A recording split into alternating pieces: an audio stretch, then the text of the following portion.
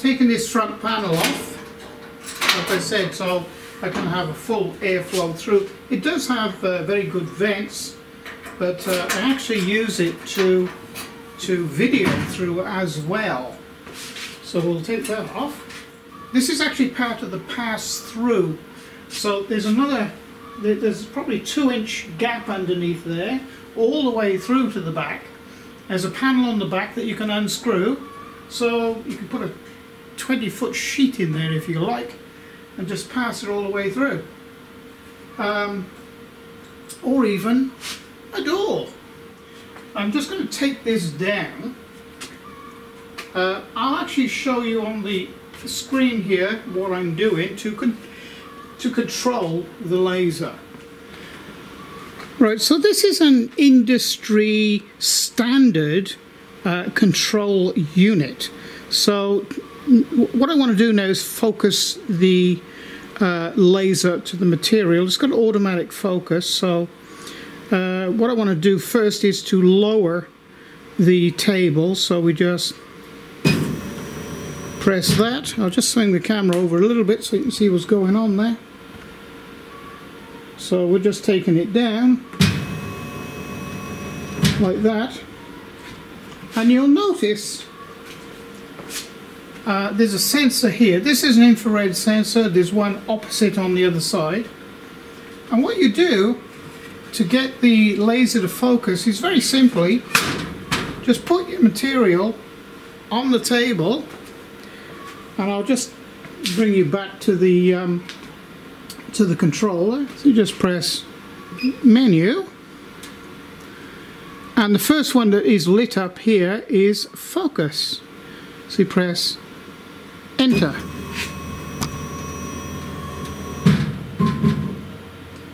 And it's as simple as that. It just does it. I'm going to press this button here which is going to fetch the head over just to check it. And I can tell you that that is focused absolutely correctly. So now I'm going to set the material up um, in an area at the front of the bed in the middle so I can uh, get a better filming area.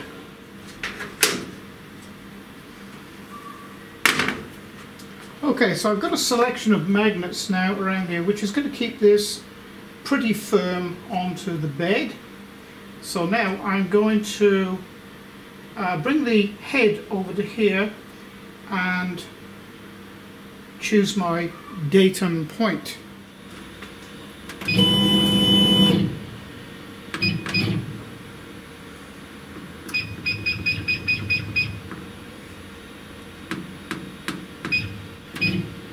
Too much. Okay. So I'm just going to make that my datum point or origin. Now I'm going to do a frame.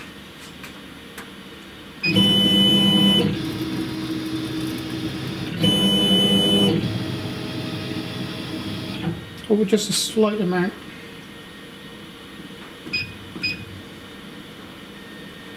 Be a little bit too far. New origin and frame.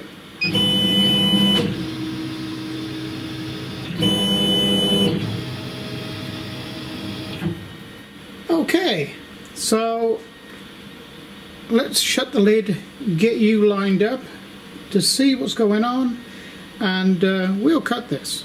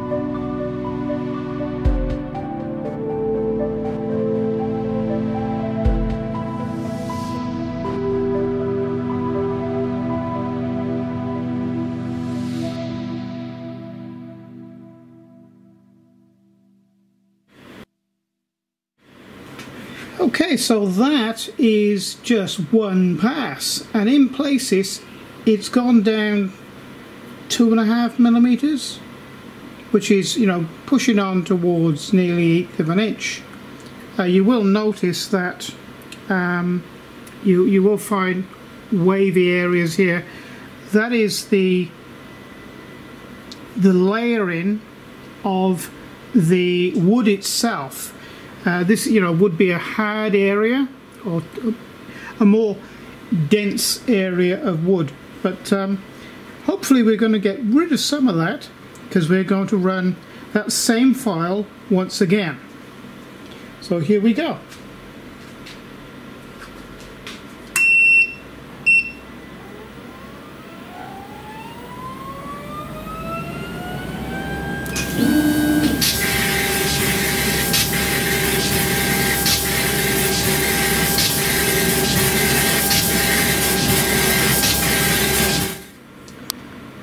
So that is three uh, passes at high power.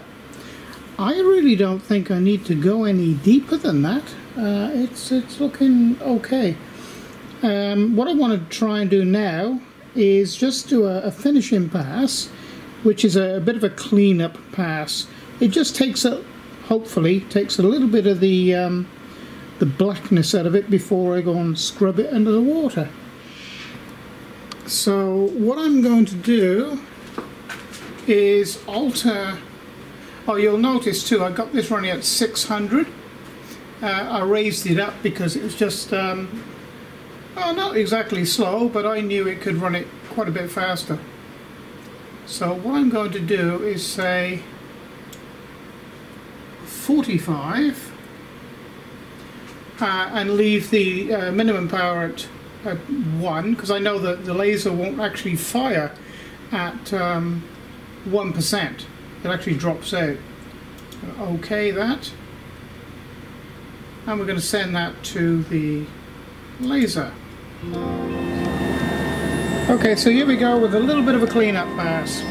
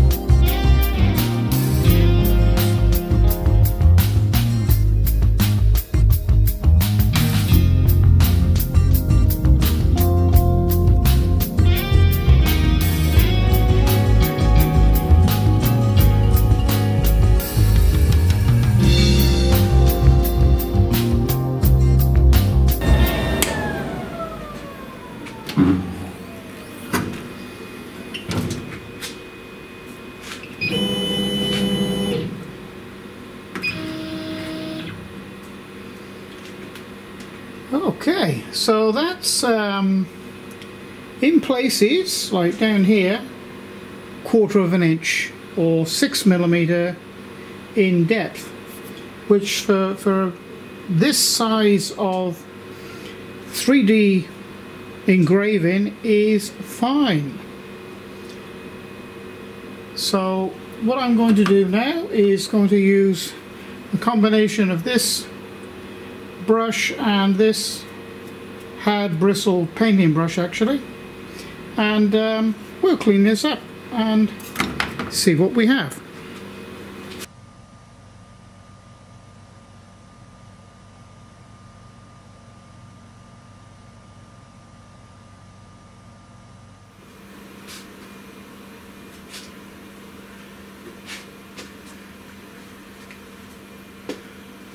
Well, that took just under two hours. So, and you know, I have only just roughly, very quickly Uh, clean that under attack with a with a couple of brushes.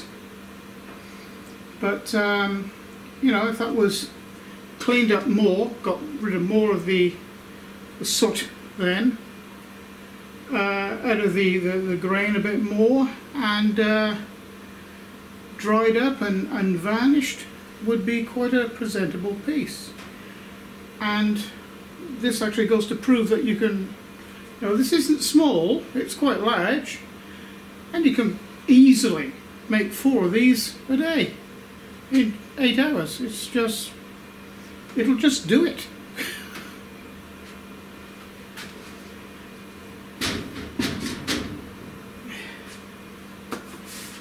Okay, so I hope you've liked that little demonstration to show you how simple it is if you know what type of 3D relief to go for and what settings to put into your laser.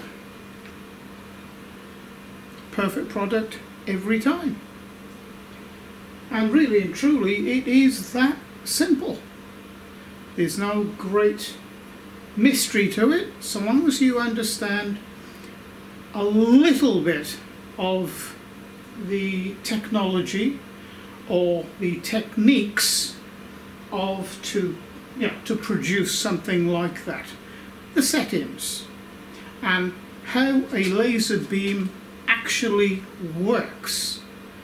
Uh, I will go into more detail about that uh, in the future to try and put across to you exactly how a laser beam works and why it does what it does. So thank you for joining me for this uh, video which has been sponsored by Thunder Laser and to help the channel along you could like, subscribe, leave a comment. You know you interact on the video and it goes a long way to for the algorithm to pick it up and push it on and share the video if you think someone else would like it. And ultimately if you would like to be a patron to the channel that it, it is actually the the patrons behind the, the channel that actually keep it going. So thank you for joining me and I hope you pop in for another video. So it's bye for now